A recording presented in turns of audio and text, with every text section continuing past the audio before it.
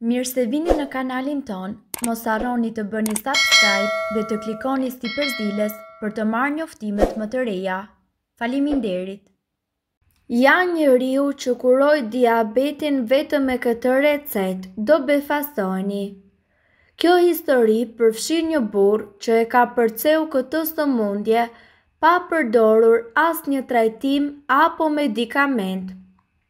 Ai u diagnostikua në vitin dy mijë e njëmbëdhjetë dhe diagnoza e tij deklaroi se Ai duhej të merrte insulinë dhe pilula për të trajtuar diabetin, por ai mori rezultatet më të mahnitshme me një ilaç natyral i cili e bëri vetë për trajtimin e diabetit.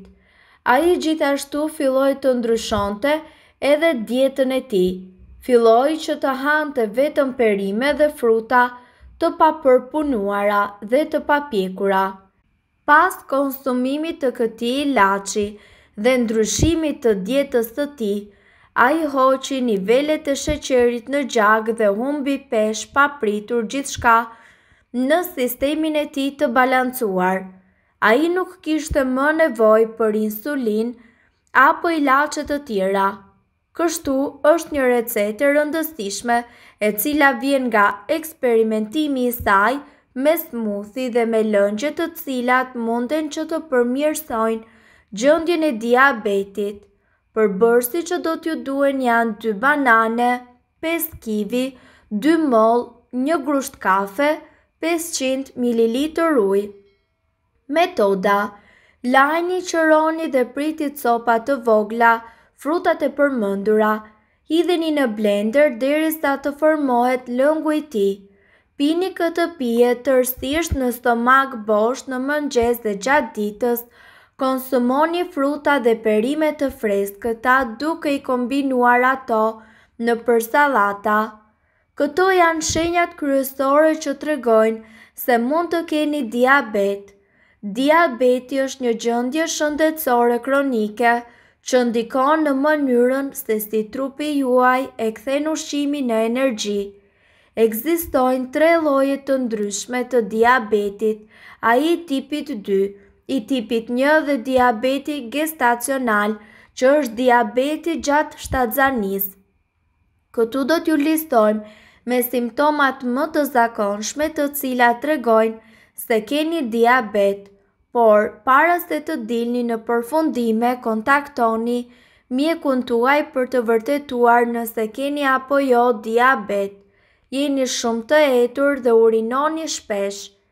Etja e tepërt dhe urinimi i shtuar janë shenja dhe simptoma të zakonshme të diabetit. Kur keni diabet, glukoza grumbullohet në gjak, prandaj veshkat janë të detyruara të punojnë më tepër për të filtruar dhe thithur glukozën e tepërt. Etja e shtuar mund të jetë gjithashtu një tregues i niveleve të larta të glukozës në gjak, Humbja e pashpjegueshme e peshës, Insulina është një hormon që lejon trupin tuaj të përdorë glukozën ose sheqerin për energji.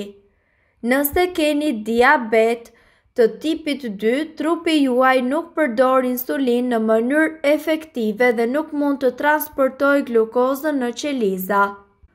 Kur glukoza nuk arrin në qeliza, trupi krijon energji, duke djegur dhjamin dhe muskujt me një ritëm të shpejtë, dhe kjo shkakton humbje të pashpjegueshme të peshës.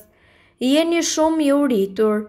Kur nivelet e glukozës në gjak qëndrojnë të larta, hiperglicemia, glukoza, nuk mund të hyjë në qeliza për shkak të mungesës së insulinës ose rezistencës ndaj insulinës, kështu që trupi nuk mund ta shndërrojë ushqimin që hani në energji dhe kjo mungesë energjie shkakton rritje të urisë. Keni probleme me shikimin. Nëse nuk kapet herët ose menaxhohet siç duhet, diabeti mund të dëmtojë enët e vogla të gjakut në retinë. Kjo gjendje e quajtur retinopati mundet që të rezultojë në verbëri. ndieni mpirje në duar ose këmbë, neuropatia diabetike dëmton nervat në këmbët dhe duart tuaja. Në varësi të nervave të prekur simptomat e neuropatisë diabetike mund të fillojnë me dhimbje dhe mpirje në duar dhe këmbë. Kjo mund të çojë në probleme me sistemin tretës, traktin urinar, enët e gjakut dhe zemrën. Ndiheni shumë të lodhur. Mund të ketë shumë arsye pse ndiheni të lodhur, por gjithashtu mund të jetë edhe si pasojë e niveleve të larta ose shumë të ulëta të glukozës në gjak. Keni probleme me lëkurën. Diabeti mundet që të prekë çdo pjesë të trupit përfshirë lëkurën. Disa nga këto probleme janë lëkurë shumë e thatë, infeksione bakteriale, infeksione kërpudhore dhe kruajtje. Për fat të mirë, shumica e këtyre problemeve mund të parandalohen ose trajtohen lehtë nëse kapen. prekeni nga infeksionet më shumë se zakonisht. Nivelet e larta të sheqerit në gjak mund të dobësojnë sistemin imunitar të një personi. Nivelet e larta të sheqerit në gjak lejojnë bakteret të rriten, duke bërë që infeksionet të zhvillohen më shpejt. Si të ulni nivelin e sheqerit në gjak në kushte shtëpie me ushqimet e duhura. Kur dikush vuan nga diabeti organizmi i tij ose nuk prodhon mjaftueshëm insulinë ose nuk mund ta përdorë atë siç duhet, ky problem shkakton akumulimin e tepërt të glukozës në gjak, Kjo gjë pasohet me një sërë simptomash siç janë drobitja fizike apo sëmundjet e zemrës. Sipas të dhënave, një nga mënyrat më të mira për të mbajtur nën kontroll nivelin e sheqerit në gjak është ushqyerja e shëndetshme. Ushqimet dhe pijet të cilat trupi i përthith ngadalë janë më të mirat sepse nuk shkaktojnë luhatje të forta të sheqerit në gjak. Në këtë artikull do të mësoni më shumë për ushqimet të cilat rekomandohen për uljen e niveleve të sheqerit në gjak, Drithërat e plota ose buka e elbit. Ndonëse shumica e bukëve duhen shmangur, buka prej elbi dhe ajo prej drithi të plotë të bluar në gur kanë një nivel të ulët glicemie. Ato janë të pasura me fibër e cila ngadalëson tretjen dhe stabilizon nivelin e sheqerit në gjak. boronica, rrush, mollë, shumica e frutave kanë një nivel të ulët të glicemisë, sepse ato përmbajnë shumë ujë dhe fibër. Por, niveli i glicemisë mundet të ndryshojë në varësi të pjekjes së frutave. Lëngjet e frutave për shembull kanë një nivel të lartë glicemie sepse shtrydhja largon fibrën dhe në lëng mbetet vetëm sheqeri. Studimet kanë konfirmuar se njerëzit që konsumojnë më shumë boronica, rrush dhe mollë kanë më pak mundësi të preken nga diabeti i tipit dy. Patatet e ëmbla, Patatet e zakonshme kanë një nivel të lartë glicemie, ndërsa patatet e ëmbla kanë një nivel të ulët dhe për më tepër janë të pasur me ushqyes.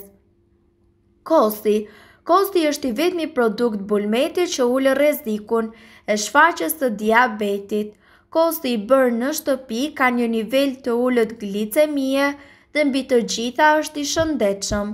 Tërshëra Sipas të dhënave tërshëra ka një nivel të ulët glicemie dhe ka pak gjasa të shkaktojë luhatje në nivelin e sheqerit në gjak.